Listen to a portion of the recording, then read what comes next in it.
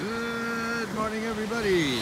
It is 6.02 in the morning, Wednesday morning, the 29th of August. And look, we got waves.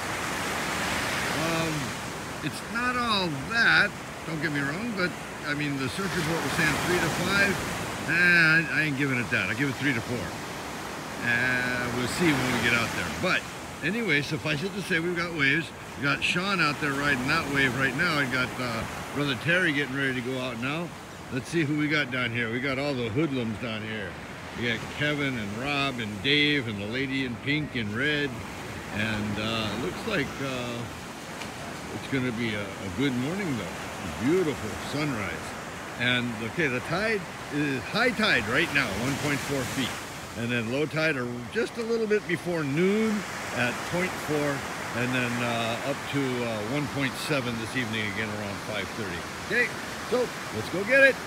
Um, everybody have a great day. Talk to you again tomorrow. Aloha.